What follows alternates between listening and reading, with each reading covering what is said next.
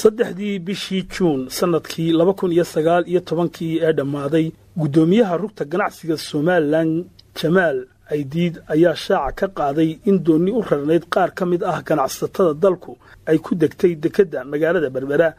xilli loo diyaarinayay inay ku soo xidhato isla marsada. Guddoomiyaha ayaa sheegay in doontaasi ay burburtay dhammaan alaabtii saarnaydna ay halkaasi ku degtay oo aanay jirin wax la manaafacaadsan kara.